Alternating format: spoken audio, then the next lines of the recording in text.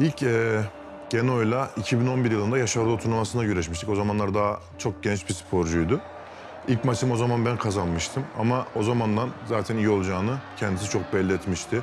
Fizik olarak zaten yapı olarak birbirimize çok benziyoruz. Güreş tarzı olarak birbirimize çok benziyoruz. İlk turnuvamız 2011 Yaşar Doğu turnuvası diyebilirim. ჩემთვის ყველა შეხვედრა რთულია ტახასთან.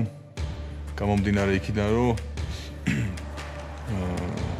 ის არის მრავალგზის სოფლიოს და ევროპის და ოლიმპიური ჩემპიონი და არის ძალიან ძლიერი სპორტსმენი. ნებისმიერ ასპექტში ეს იქნება ფიზიკური umzadeba, ტექნიკა, ტაქტიკა, ყველანაირად ძლიერი სპორტსმენი. 2017 ve 2018 yıllarının dünya şampiyonu. Biliyorsunuz 2017 yılında dünya finalinde son saniyede kaybetmiştim. Son 10 saniye kala çok dramatik bir şekilde müsabakayı vermiştim. Two giants in the heavyweight division, Turkey's Taha Ghul and Georgia's Gino Petriashvili. Both of these wrestlers have cruised through their brackets, and now the collision course is set. Forget your game plan, forget tactics and athleticism. This one comes down to who wants it most. Akgul was down. He has criteria. Petrashvili, he has the ambition. Can he get the leg? The Turk defending with all his might. Look at the strength though. They take the move. Crowd is on their feet. Standing ovation for two warriors. A beautiful chest to chest. O yüzden e, onunla müsabakaya çıkarken çok ekstra bir motivasyon sergiliyorum. Ekstra hazırlanıyorum e, ona. E, çünkü sikletimin en rakibi olduğunu biliyorum. Hangi turda düşersek düşelim çok zorlu geçiyor müsabakalarımız. Hep kafa kafaya geçiyor. Yani bu Dünya Avrupa Şampiyonası'nda da yine aynı şekilde çok ciddi bir mücadele oldu. Dünya Şampiyonası'nda da en ciddi rakiplerim arasında diyebilirim. Turkey's giant Taha Ghul has looked unstoppable this week. He certainly appears primed for his rematch opportunity.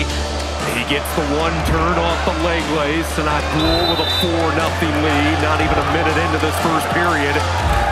Underhook throw by 7-0 now the lead. Pretty much held off every approach, every attack by the Georgian wrestler tonight. And Taha Abdul at 125. This weight class has been hit. ჩემი დამოკიდებულება, რა თქმა უნდა. რა თქმა უნდა, ბოლო ბრძოლა დავაგეტახასთან, ევროპის ჩემპიონატზე შევხვდით ფინალში და დავმარცხდი. ჩემი დამოკიდებულება ასეთია, ყოველ ყველა შეხვედრაზე ვეწყობი საბრძოლელად, ვიცი რომ არის ღირსეული მეტოქი და ძლიერი სპორტსმენი და დიდი ძალისხმევა მჭირდება იმისთვის, რომ ტახასთან ღირსეულად ვიჭიდაო და ამისთვის ყველაფერს ვაკეთებ ხოლმე და ვცდილობთ, რომ ღირსეულად შევხვდეთ ესე ძლიერი მეტოქეებს, როგორიც არის ტახა.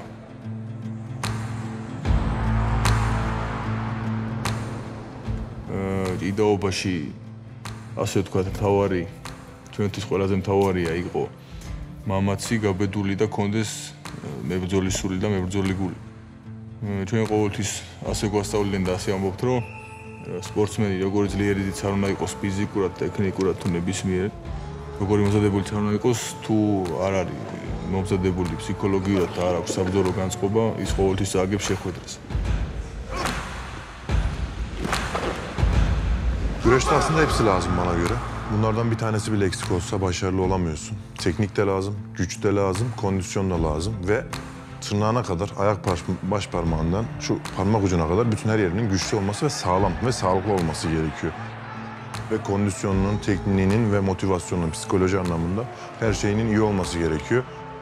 Olimpiyat şampiyonları, dünya şampiyonları bunların hepsi olan sporculardır. Özel sporculardır, yetenekli sporculardır. One of the great rivalries is renewed tonight here in Nur-Sultan as it's the rubber match between two of the greatest heavyweights on the planet. Turkey's Taha Ghul and Georgia's Gino Petriashvili.